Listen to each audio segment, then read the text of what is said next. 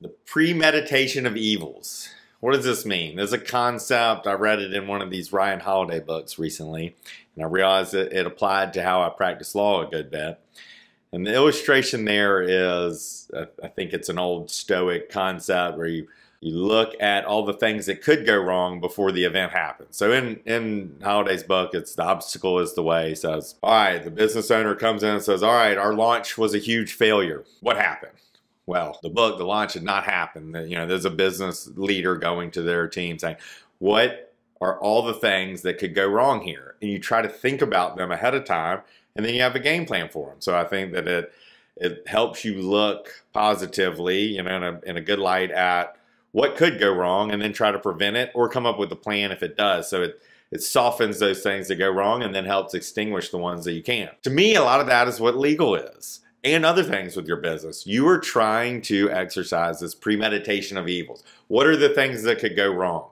Well, you, you know, from the legal perspective, you could get sued. You could have a client not pay you. You could have someone talk bad about you. You could have a client uh, steal maybe a contractor of yours. You could have someone steal your uh, idea, your intellectual property, your brand, all sorts of things like that. You could get uh, sued on a debt. You could get claimed for an injury you could, you know, these are the your legal problems that we are looking to avoid. So how do we avoid the legal side of this? The business side, I'm gonna leave that part up to you.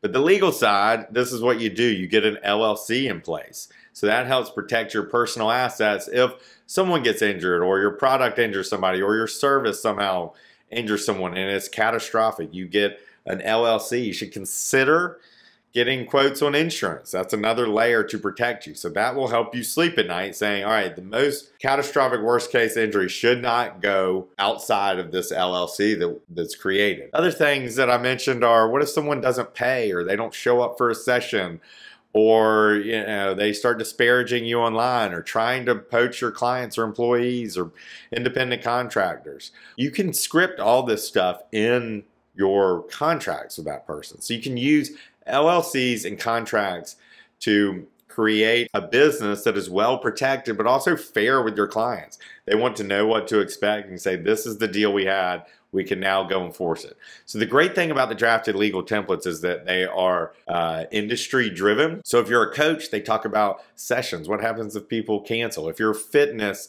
they talk about what happens if people get injured. Um, so they're they're tailored to that industry, even though not tailored to you personally. Uh, we obviously always recommend going to a lawyer, but you know, we started our business, you know, lean on a budget, so we totally understand and provided drafted legal as a great option if you're looking to skip the hourly rate, skip the law firm. You can use drafted legal. And of course, if you do need a law firm, you go to Henderson and Henderson, uh, hhlawsc.com is our real life daily practice. And you can go to that if you need personalized, customized advice. I hope this helps you understand how legal plays in. I thought the thought of this premeditation of evils fit in so well to the practice of law and in the practice of business.